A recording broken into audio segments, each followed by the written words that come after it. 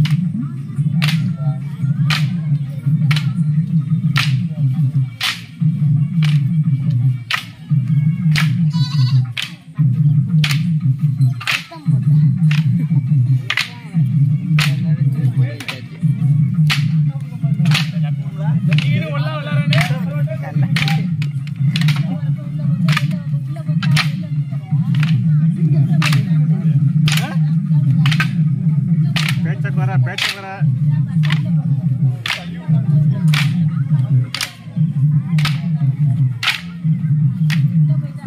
ஏன் சுந்தர் ஸ்பீடா இருக்குப்பா